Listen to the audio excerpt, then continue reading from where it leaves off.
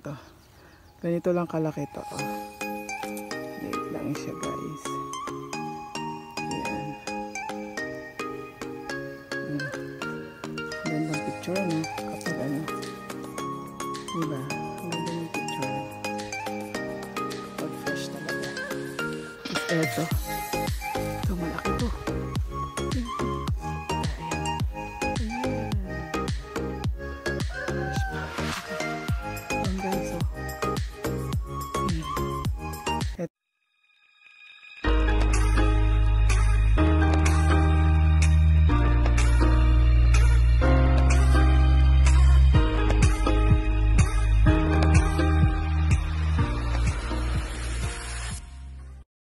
Guys, welcome to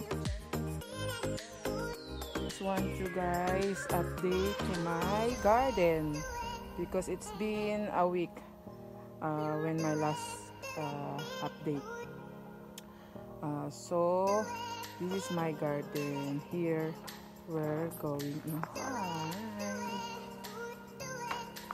Ayan guys. Ayan, ayan. Here's my garden. Look at this sunflower. Is so yeah, it got so uh, heavy. That's why nakayuko na siya. Tapos ala na yung ano niya, yung mga petals, petals niya kasi he it has uh, like seeds inside na. Like that. Tingnan mo, seeds na siya. It's gonna be a seeds. Kaya natu uh, uh, uh, ang gagawin natin ngayon dyan, we have to let let it dry. Ayun no.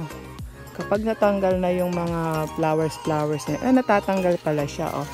Kapag natanggal na yan, uh, it, it's gonna be uh, like oh ayan natatanggal na siya oh, natatanggal. Did you see that?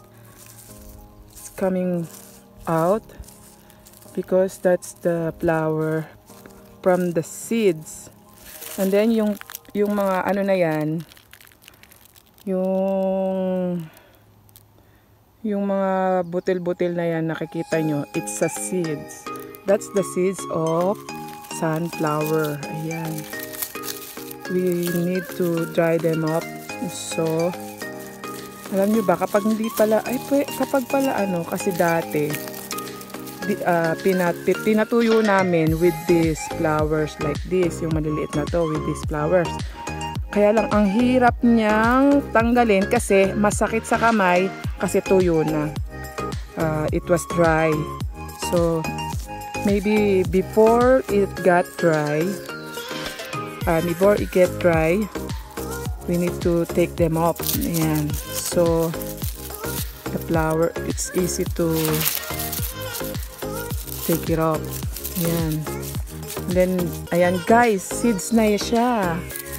Ang laki, no? Ang laki niya, no? ba? Ang laki-laki. Ayan.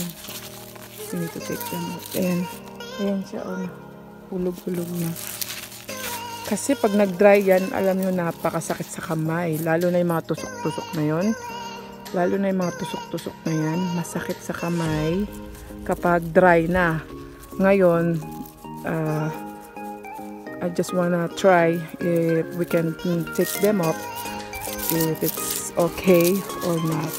So, ayan. Ang galing ano, diba?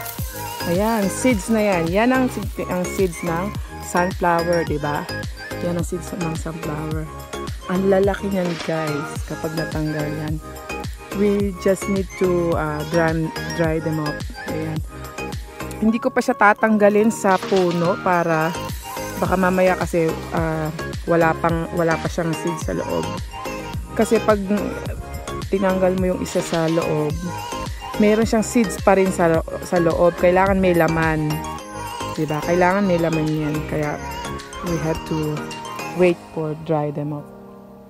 Ayun pa, meron pa siya, guys.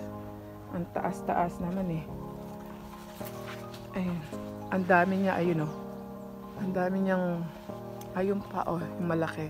Eto medyo maliit pa. Pero eto, eto na, may lumalaki na siya. Tapos eto, malaki din. Ayan. Medyo ma... Ayan. Ayan oh, ang ganda nito oh. Ang ganda, diba? Oh, so beautiful. You are so beautiful. ang dami niyang flowers guys. Oh. Ayan, ang sunflowers ko. Oh, diba? Ayan guys, ang aking sunflowers. So many. Ganda. Yung iba niyan, pinu- pinuputol ko. Tapos, nilalagay ko sa ano, sa sa flower base. Hmm. Kasi may, ma- marami naman siya guys. So ayan, ayan pa, ito pa, ito pa isang. Hindi nakita medyo maino kasi. Ano, against the light tayo. Ay, yun, ang daming bis oh. Ayun oh. Oh, diba? Dami. Ayan. Diba? Ayan. Ang dami ko ng sunflowers na nakabuka na siya. Yan o. Ano mo to o.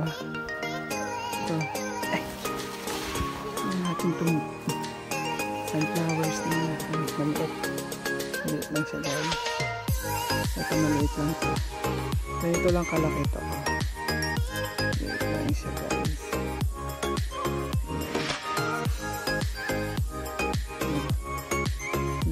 Picture no? Kapag ano.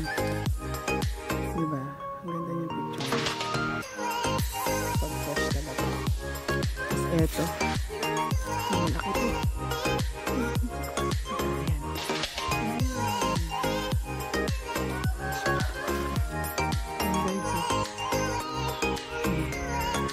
Ito naka-ano na rin to. Oh. Kasi mabigat na siya. May laman na rin siya kasi. Ito. Ayan o. Ayan, may mga seeds na siya, oh, guys.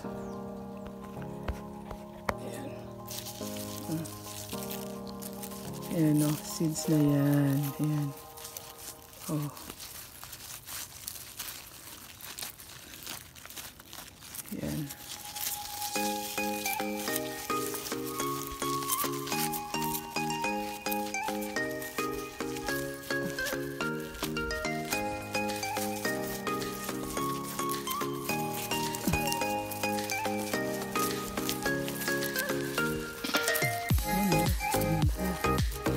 Puti siya, di ba?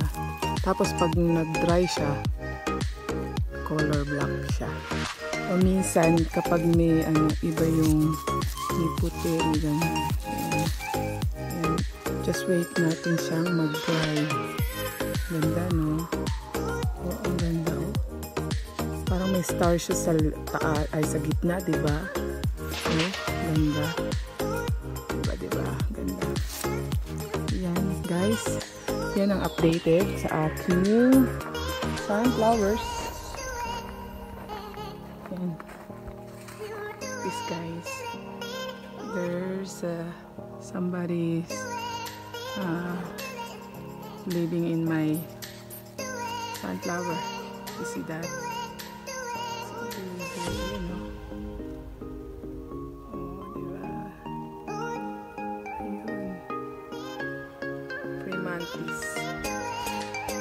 Cold. Primantis.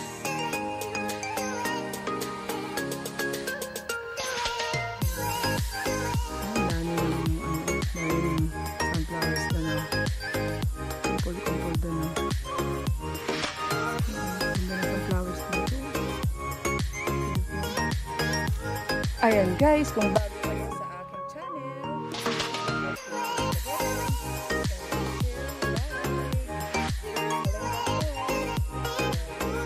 Itud kayo sa aking mga video.